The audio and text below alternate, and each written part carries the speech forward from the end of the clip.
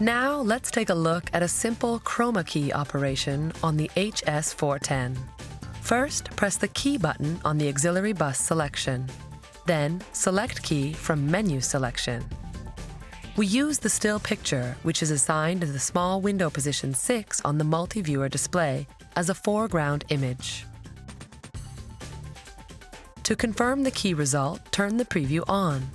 Select Chroma as key type in menu using F2. Press Chroma key again in menu selection.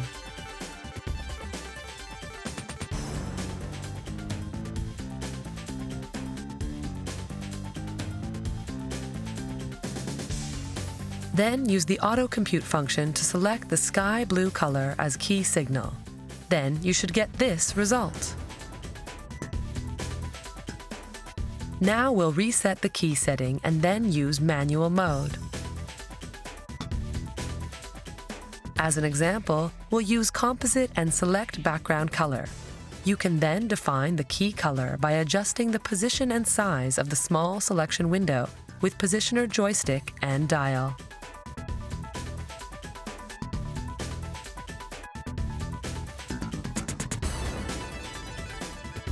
Press dial button located above the joystick and the chroma key operation will start.